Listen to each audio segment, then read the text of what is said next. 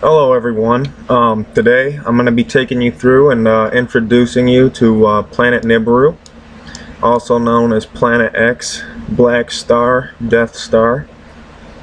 Now, believe it or not, there are things going out here, uh, going on out here in our galaxy that most people couldn't comprehend if they wanted to. Let's face that. Now, uh, right now I'm using uh, Microsoft Worldwide Telescope. Um, I've used Google Earth. I find this one to be better. Uh, it's up to the user, um, but this is my preference. So let's go ahead, look around the universe as we pan around. Now finding this thing, after you found it the first time, most people, you know, we'll need coordinates the first time. Or, um, just a good image and a good place to go to. Now, I can find it right off the bat because I know where it's at and once you've, you know, given yourself a place marker, you'll always be able to find it, no problem. Now, you notice um, standard it will be digitized sky survey color. You always want to find this area right here. Looks something like a turtle or an ancient dinosaur, you know, whichever you prefer. Now let's zoom in. Now you notice we see nothing right here correct? So, what we want to do is because this thing is so hot and gives off so much heat, we want to go to 2MASS imagery infrared. And there it is, right across the line.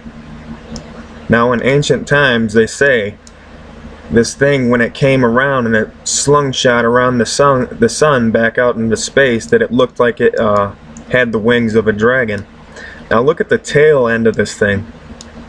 From here all the way up there and in space that is a massive massive amount of space. And it's also said that this thing has its own mini solar system. And if you look closely, right here, right here, and possibly behind it and further off, there's more around it. now just to give everybody a good idea of how close this thing is to us. Um, I'm going to show you a couple things here. Now let's first just take the long way around. We're going to pan and follow this blue line. Follow the yellow brick road, but follow the blue line. Here we go. We're now panning the universe. We'll zoom out a little.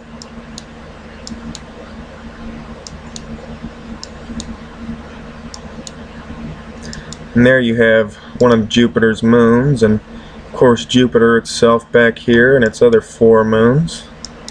Zoom in on those real quick. Now remember, this is the long way around.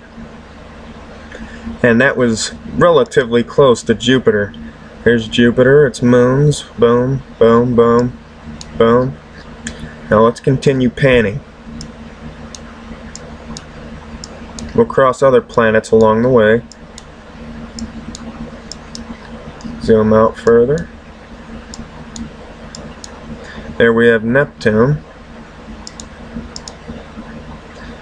Let's get a close-up view of that. This is just to uh, familiarize you with everything. And there you have Neptune. We'll zoom back out.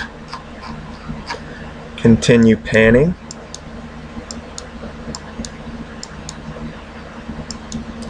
There you have Mars, a tiny red dot, and up here looks like a star because it's so far off. It's Pluto. Now let's continue panning. There's our sun. Now remember how long it took for us to get here the first time. Now we zoom out. Here we have Mercury, Venus, Saturn. Now how long does it take for me to get back to where we were? Right there to right there. There you have it, people. This thing's close. Now let's zoom back in on it again to get a closer image of it again. Remember, this is a Death Star. It's spewing all this red gas and salt, uh, you know, I couldn't tell you exactly what it is coming off of it. This is infrared, so it has to be heat of some sort. What the chemical makeup of it is, I couldn't tell you.